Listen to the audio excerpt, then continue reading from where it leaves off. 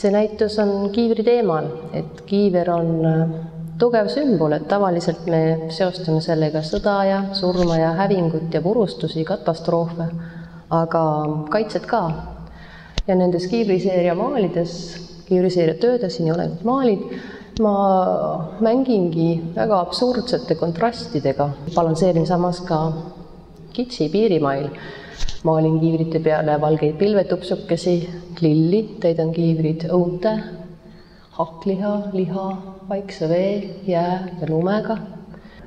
ja siis tuli aasta kaks tuhat neliteist. hakkasin jaanuaris-veebruaris hakkasin tegelema kiivrimaalidega, mul oli pooleli kiiver maasikatega, mul oli pooleli kiiver pilvedega aga siis juhtus see, et Venemaa märtsikuus annekteeris Krimmi ja esimene kiivripilt, mis mul valmis sai, see oli kiiver sinise ja kollasega.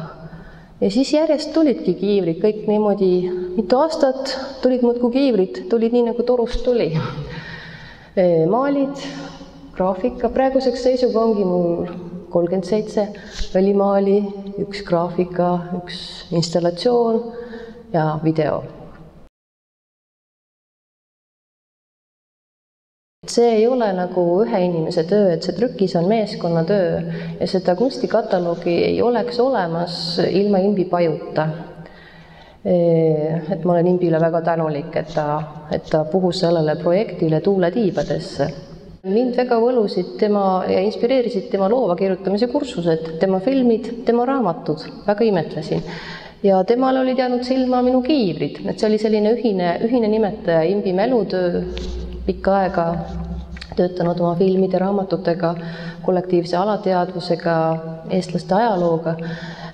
Ja see kuidagi haakus ja kuidagi selle koos tegutsemise käigus tuligi välja, et sellised erinevad mõtted, oh, aga teeks niimoodi ja teeks niimoodi ja sellest sai palju suurem asi, et seal hakkas sünergia nii toredasti mõjuma, et äh, päris alguses nagu küll ei oleks ette kujutanud, et see nagu sellisel kujul välja hakkab nägema. et äh, oli just ka see huvi, et need inimesed oleksid hästi erinevate elualade inimesed, et äh, ja kes annaksid sellele buketile oma sellise õie või oma vaatevinkli ja, ja mingisugust nõuet või sellist äh, muud ideed nagu neile inspireerimiseks ei, ei olnud, et kui me saatsime neile minu maalide fotod ja foto ja video ja, ja need tööd, äh, natukene tausta ja taustajuttu ja siis inspireerituna sellest, siis igaüks kirjutas oma, oma, oma vaatevinklist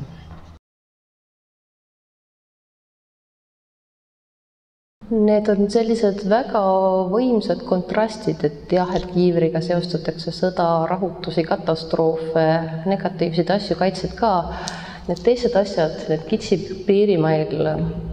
balansseerivad asjad, et mõnes mõttes on nad nagu nii inimlikud, sellised äh, seotud täitsa tavalise rahuliku eluga ja kui need kaks kontrasti kokku said, siis ma loodan, et äkki see paneb mõtlema. mulle meeldib, kui, kui minu tööd mõjuvad ootamatult või et nad kuidagi nagu, et inimene on nagu sunnitud sellise kontrastide või, või mille iganes äh, tulva all,